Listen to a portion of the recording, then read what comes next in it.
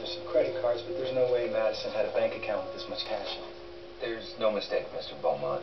And this money's just the tip of the iceberg. Well, aside from the shopping spree, we found some odd charges on your daughter's credit cards over the past few months. Cab rides, taken during the middle of the night. Do you have any idea what she was doing or where she was going? These charges are for weeknights. School nights. So you weren't aware of this?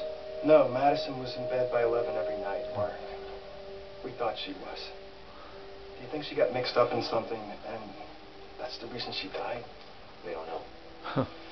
but we did find something else in the school library. Inside of a hollowed out book with your daughter's fingerprints all over it. What did you find? $2.3 million in German bearer bonds. Bearer bonds. Are these your bearer bonds, Mr. Beaumont? Uh, no, no. Do you know where your daughter could have gotten them? Charles? No, um, I'm sorry. We can't help you. Come on, Doc.